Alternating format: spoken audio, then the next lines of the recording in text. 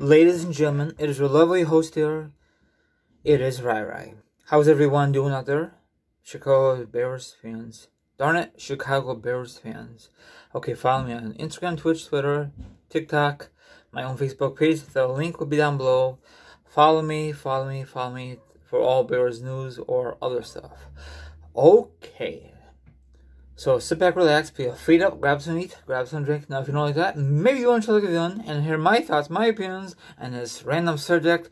And of course, the link will be down below. Let's get into this. Last week, I discussed about the Bears purchase. No, sorry, um, put a um, a bid on possibly the new home of the Chicago Bears. Well, it'll be a different name probably because it won't be in Chicago anymore.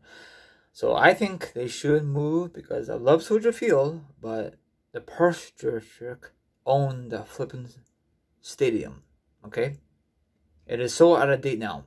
Last time they remodeled was back in 2003, and this is 2021, so that's a long time. Okay, the grass at Soldier Field absolutely sucks ass because they have concerts and the BS, and it's a mess. I think Bears just got a raw deal.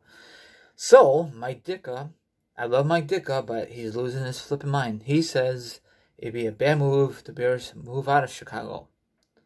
Why you want the Bears keep paying uh, their uh, lease? No, that'd be stupid. Let them have their own stadium and whatever, you know. That's just my opinion. Of course, my opinion does not matter on social media. If the Bears wants to get out of the deal, they have to pay all that money to Chicago, to the Bears.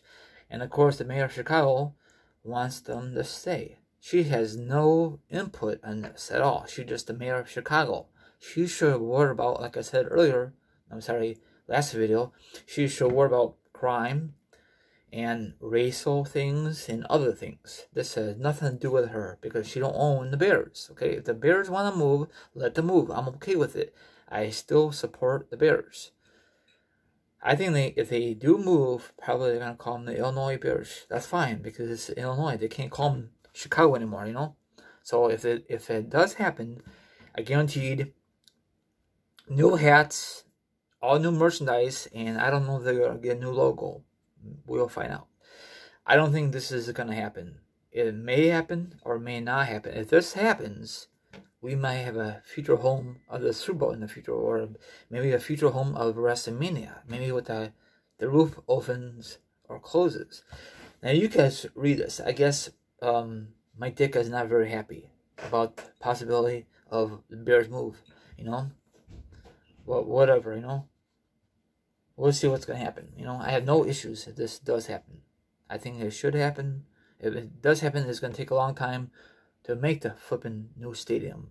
You know, everything needs to be updated. They can't update it anymore at Soldier Field. If they do, they got to tear the whole thing down once again. You know, but what whatsoever. I don't think it's ever gonna happen. I flipping doubt. I'd be so happy if it does. You know, they can host a Super Bowl and other things. So like, subscribe, leave a comment, hit the notification, hit the subscribe. The article will be down below. The link will be down below. Everyone out there, have a good one. And sorry about I'm rushing the video. There's just too much noise outside this room, so I'm sorry. So I had to hurry up this video. I doubt the Bears will ever move. I think this is just I'm not gonna believe it until it's a really official official until they break ground and and and, and until they break ground at the old horse racing track. You know, they put a bid on it, but let's see if it does really happen. So don't get excited, Bears fans.